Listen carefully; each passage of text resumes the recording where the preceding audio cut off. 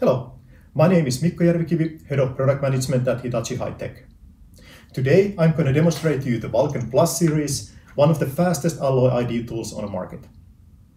In a little bit over one second, Vulcan can identify aluminium, steel, low alloy steel, nickel, copper, titanium and much more.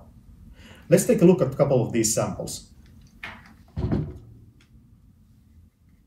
So here we have a couple of common alloys aluminum alloys and stainless steels. Let's start with the aluminum alloys. 6061 with the low magnesium and silicon. 6063 quickly identified from 6061. 2024 with copper and magnesium. And 7075 with zinc. Moving to steels. 304 stainless with chromium and nickel.